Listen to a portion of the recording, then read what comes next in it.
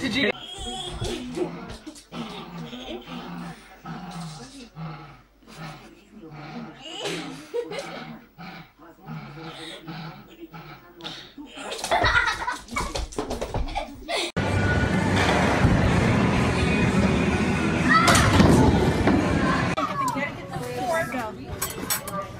Adrian, Michael, I'm gonna beat your ass.